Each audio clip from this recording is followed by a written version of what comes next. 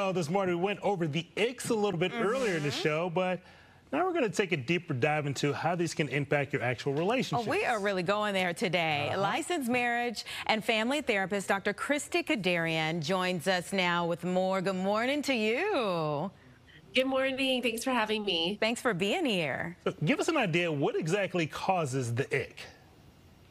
So the ick is something that people have been feeling in the early stages of relationship for a while, but we've just caught on with to this term. And basically, it's when you start to get to know somebody and then they do something. It could be a strange mannerism or something they say or a habit that just gives you this kind of initial feeling of disgust, and you're just like, ick, I didn't realize that they do this thing, and it affects how attracted you are to them, and if you feel like the relationship can move forward or not. Oh Oh my goodness, yeah. Can it live through this? Can somebody actually come back from getting the ick or from being the uh, person who is icked? Right.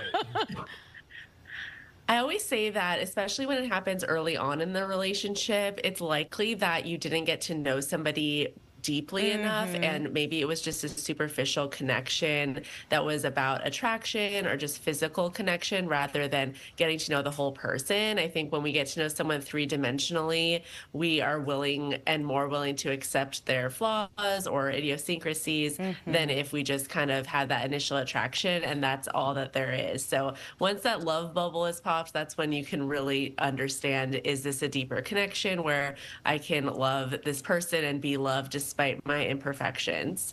Now, is this one of those things that maybe it never bothered you before, but then all of a sudden you see your partner do it and you're like, eh, I'm not sure about that?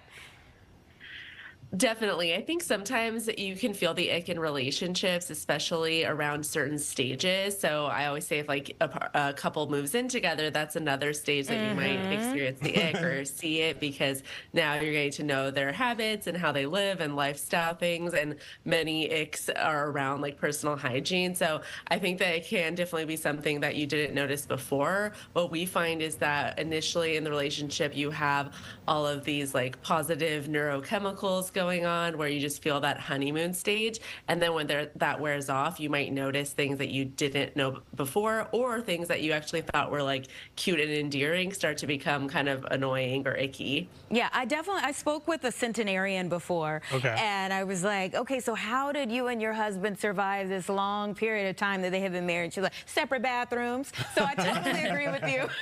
Thanks so much for being here on the show today. We appreciate all your great advice. Thanks for having me. All right. All right, time is now